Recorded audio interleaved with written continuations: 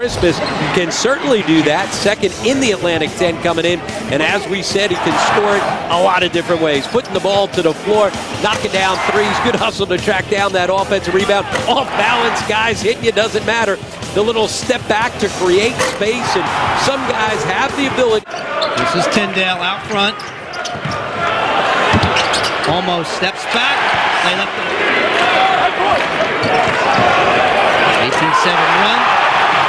Size, and they can pound the ball into the paint, take advantage of it. What a move by Tyndale.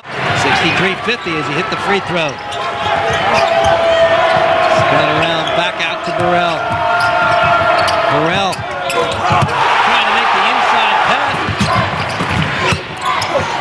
Tough interior passing, almost coming up big again. This time. So he's been effective in the paint. And he was replaced by Duncan Christmas. What a spin move. Temple spreading things out. Here's Tyndale. Steps up. Clock off and then finish it with yet another three.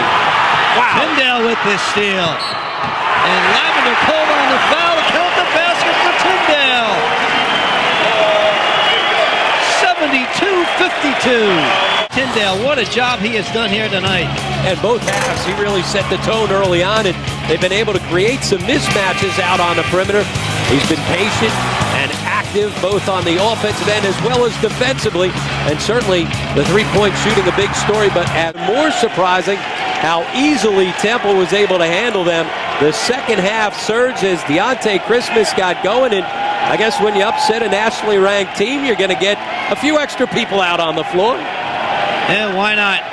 That's the enthusiasm of college basketball.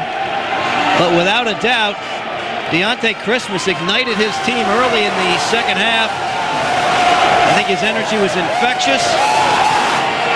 And there's a lot of energy out there on the court also right now. We'll take a break and then we'll have some post game for you.